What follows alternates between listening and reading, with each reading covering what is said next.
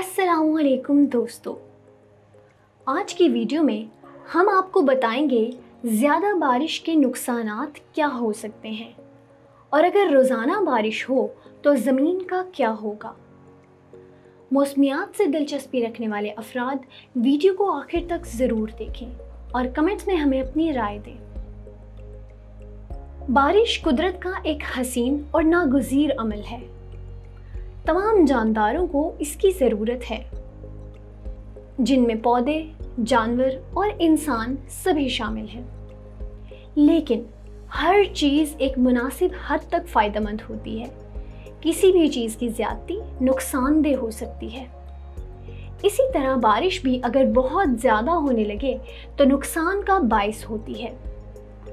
अगर सोचा जाए कि सारा साल बारिश हो तो ज़मीन और उसके बाशिंदों पर क्या फ़र्क पड़ेगा?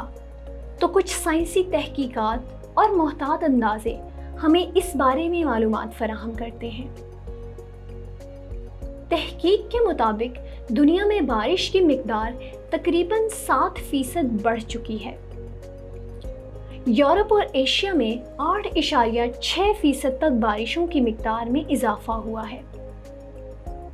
और 1980 से 2009 के दरमियान तकरीबन पाँच लाख से जायद लोग इस वजह से लुकमाए अजल बन चुके हैं। यानी अगर लगातार बारिश होती रहे तो हमें बहुत से मसाइल का सामना करना पड़ेगा। समंदर पानी से भर जाएँगे और शदीद सैलाब आ जाएगा। खासकर साहिल समंदर पर मौजूद इलाके बुरी तरह से मुतासर होंगे। जजीरे समंदरों में डूबकर गायब हो जाएँगे। कुछ इलाके मुकम्मल तौर पर जेर आब आ जाएँगे, जैसे कि नीदरलैंड्स। तमाम ज़खायर और पानी के निज़ाम में माहौलियाती गंदगी शामिल हो जाएगी, जो सैलाब के ज़रिए बह कर आएगी।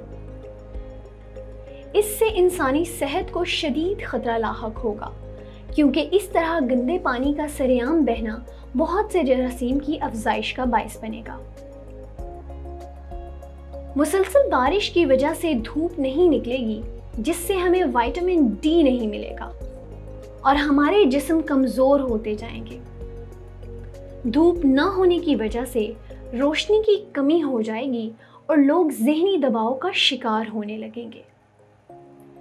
मज़ीद ये कि हवा में ऑक्सीजन की मकदार कम होना शुरू हो जाएगी, क्योंकि सैलाब से पौधे बह जाएँगे और दरख्तों की जड़ें खोखली हो जाएँगी।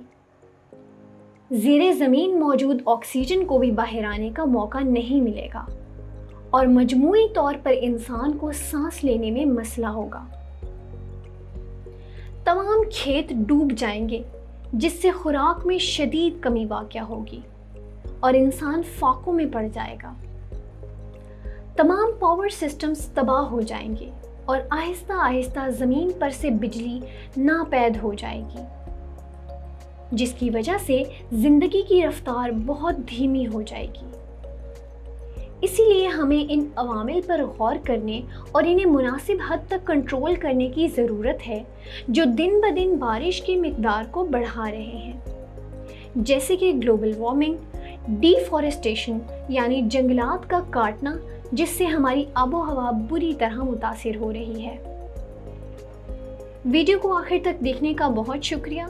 मज़ीद दिलचस्प और मालूमती वीडियोस देखने के लिए चैनल को सब्सक्राइब करें और बेल आइकन पर क्लिक करें ताकि आपको वक्त पर नोटिफिकेशंस मिलती रहें।